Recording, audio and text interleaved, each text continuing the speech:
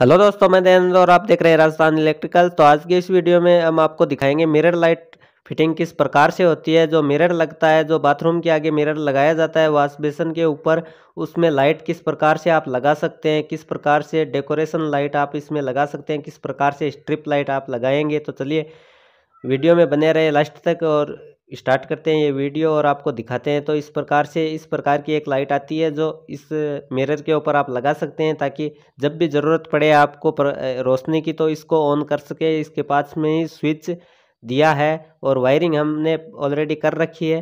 Wire यहाँ से वाल से होते हुए निकाल रखा है जीरी निकाल कर। तो इस लाइट को लगाना बिल्कुल ही आसान होता है। इस लाइट के पीछे एक स्टैंड लगा रहता है, उसको पहले लगाना है आपको। तो पहले आप मार्किंग कर लें, क्योंकि ये जो लकड़ी का फ्रेम लगा हुआ है इसके ऊपर, मिरर लगना है। इससे थोड़ा मिरर इससे बाहर की ओर निकलेगा, इससे बड़ा होगा तो जितना मिरर है उस साइज़ से थोड़ा ऊपर हम एक इंच आप ऊपर रख सकते हैं। कुछ मिरर भी आएगा, तीन इंच तक मिरर इस लकड़ी से बाहर आएगा, जो फ्रेम लगी है लकड़ी की तो उस हिसाब से हमने मार्किंग कर रहे हैं और इसका स्टैंड निकाल लिया है पीछे का। और इस स्टैंड में जो दो स्क्रू कसने के जगह हैं, उसमें मार्किंग कर लिए हैं और मार्किंग करने के बाद में आपको ड्रिल मशीन लेना है और छः एम एम बिट से आपको होल करना है और इसमें छः एम एम आपको गिट्टी फंसाना है।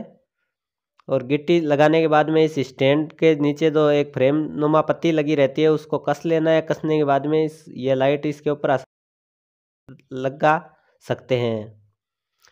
तो इस प्रकार से आपको क्या करना है, यहाँ पर जगह बनानी है, वायर इस स्टैंड के नीचे से लेने के लिए, ताकि दिखे नहीं।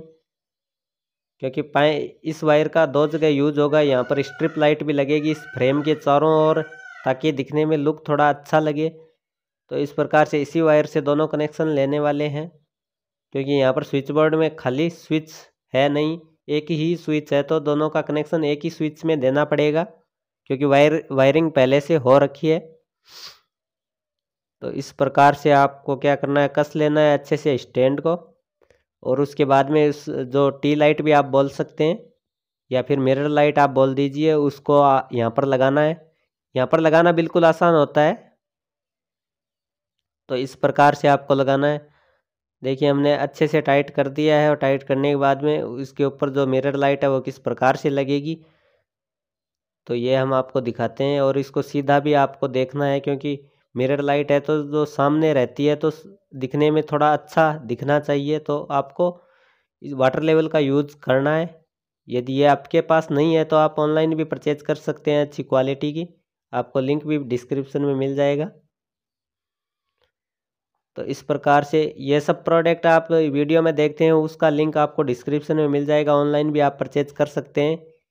यदि इसकी प्राइस जाननी है तो भी आप डिस्क्रिप्शन में लिंक दिया रहता है। वहाँ से चेक कर सकते हैं। जो प्रोडक्ट ऑनलाइन मिल जाते हैं, उनके लिंक आपको डिस्क्रिप्शन में मिल जाएँगे। तो इस प्रकार से इसके ऊपर दो स्क्रू लगते हैं, स्टैंड के ऊपर। तो यहाँ पर लगाने के बाद में ये जो टी लाइट है, वो आसानी से लग जाती है और ये जो है, आप जहाँ चाहिए वहाँ पर सेट कर सकते हैं, क्योंकि ये ऊपर नीचे भी घूमती है। तो इसीलिए इसकी डायरेक्शन आप चेंज कर सकते हैं। और इसकी ख़ास बात यह है कि ये दो कलर के अंदर जलती है, वैसे तीन कलर है इसके अंदर वाम वाइट और वाइट और दोनों को एक साथ भी आप जला सकते हैं।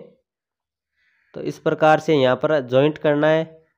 जो स्टैंड लाइट लगी है ऊपर मिरर लाइट उसके वायर को इन दो वायरों के साथ में जोड़ना है जो स्विच बोर्ड से आए हुए हैं, जिस, जो स्विच के अंदर लगे हैं। तो उसके अंदर आपको यहाँ पर एक बारह वोल्ट की पावर सप्लाई भी आपको लगानी है। बारह वोल्ट डीसी कन्वर्टर जो है, इसे आप चौक भी बोल सकते हैं। अधिकतर लोग चौक बोलेंगे।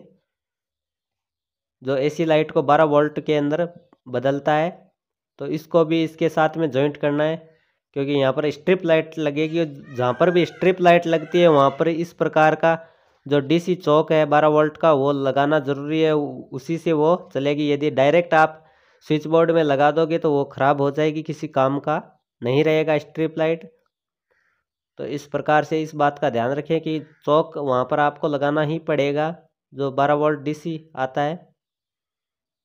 वो एम्पेयर के हिसाब से आता है, जितना लंबा आप स्ट्रिप लाइट लगाते हैं, उस हिसाब से आप एम्पेयर का ले सकते हैं। ये दो एम्पेयर से पाँच एम्पेयर तक का काफ़ी होता है।